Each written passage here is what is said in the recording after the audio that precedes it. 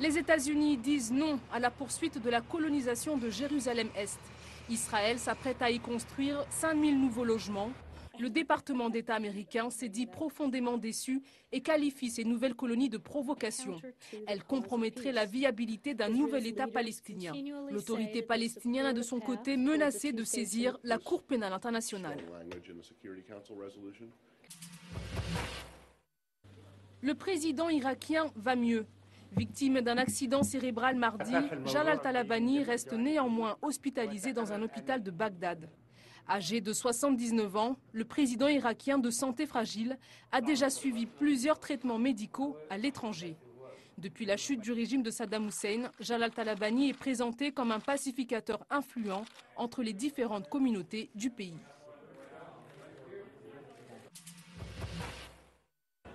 La grogne des enseignants du primaire au Canada. Dans la province de l'Ontario, la plus peuplée du pays, ils étaient 35 000 à faire grève. Les enseignants protestent contre le gel de leur salaire pendant deux ans en raison de coupes budgétaires, mais également contre une loi controversée qui restreint leur droit de grève, une loi qui entrera en vigueur le 1er janvier prochain.